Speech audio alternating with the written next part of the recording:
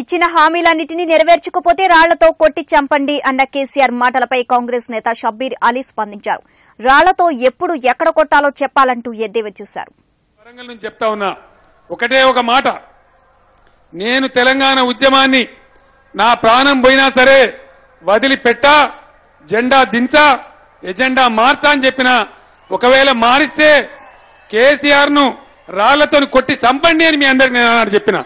గంటకు పూటకు ఒక మాట మాట్లాడే వ్యక్తి నాకు రాళ్ళతో కొట్టుమని. నిజంగా నువ్వు కరెక్ట్ వాడన్నావు నీకు అభినందిస్తున్నా. కానీ అది అది ఎక్కడ కొట్టాలా చెప్పాలా కొంచెం మా ప్లేస్ చెప్తే పోలీసు వాళ్ళు మా మీద కేసు పెట్టకుండా ఎందుకంటే రాళ్ళతోనే కొడితే త్రీ ఫిఫ్టీ త్రీ మా అడ్డంగా వచ్చిన ముఖ్యమంత్రి డ్యూటీ దాంట్లో స్పెషల్ చేసినారని అంటారు. కాబట్టి ఆ పర్మిషన్ నువ్వే వాళ్ళ రెండు వేల పద్దెనిమిది కల్లా ఒక కన్ను రెప్ప కొట్టిన పాటు కూడా కరెంటు పోకుండా ఇరవై నాలుగు గంటలు త్రీ ఫేజ్ కరెంటు కూడా సప్లై చేస్తామని చెప్పి నేను మనవి చేస్తా ఉన్నా.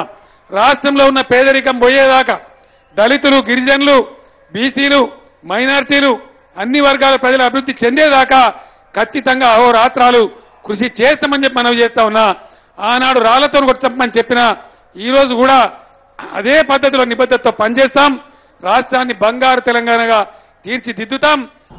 ఇగో నేను చెప్పినా ఇక నిలబడిన. మన సౌదీ అరబ్లో ఒక ప్లేస్ ఉంది. శిక్షించింది. ఆ ప్లేస్లో తీసుకొచ్చి కట్టేసి కొడ్లా మారినంత కొడ్లా మారితే గడవలు మారితే గడవలు మారితే.